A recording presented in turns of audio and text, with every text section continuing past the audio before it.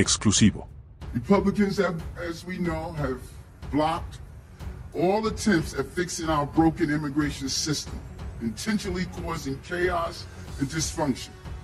We cannot believe all of a sudden that's going to change with a Republican controlled Congress.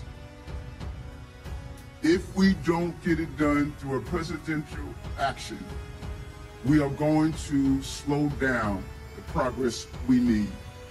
So we're calling on the White House, the United States Department of Homeland Security, to ensure our newest Americans can work lawfully and build stable lives for themselves and our countries.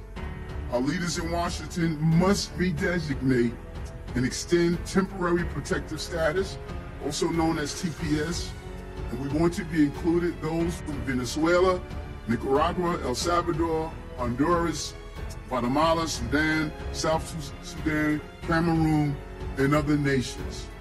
Given the continuing worsening humanitarian crisis in those countries, they are going to pursue the stability that our country has to offer. Alcalde de Nueva York, Eric Adams, quiere albergar a los inmigrantes en iglesias y propone residencias privadas en el futuro. El alcalde de la ciudad de Nueva York, Eric Adams, pidió a los residentes que dieran la bienvenida a las decenas de miles de inmigrantes que llegan a los cinco condados, e incluso sugirió la idea de pagarles a los propietarios y arrendadores para que los alberguen, informó por primera vez el New York Post. Durante una conferencia de prensa el lunes, Adams anunció la creación de una asociación de dos años con New York Disaster and Relief Services, NIDIS, que permite que hasta 50 lugares de culto o espacios religiosos ofrezcan refugio nocturno para hasta 19 hombres adultos solteros. En cada lugar. La ciudad también abrirá cinco centros diurnos fuera del sitio para brindar programación y apoyo a los solicitantes de asilo durante el día, lo que permitirá que los espacios basados en la fe reanuden sus actividades normales. El alcalde dijo que las asociaciones con organizaciones religiosas han desempeñado un papel fundamental en la respuesta de la ciudad a los inmigrantes que son dejados en la ciudad de Nueva York y, a gran escala, este programa debería poder ofrecer alojamiento para mil solicitantes de asilo y al mismo tiempo tener el potencial para ampliar y albergar más. No importa qué fe practiques, cuidar a los necesitados es parte de toda tradición espiritual, dijo Adams. A medida que continuamos abordando esta crisis humanitaria, me enorgullece que a través de esta nueva asociación, la comunidad religiosa de la ciudad de Nueva York podrá brindar refugio a los solicitantes de asilo que lo necesiten en lugares de culto en los cinco condados.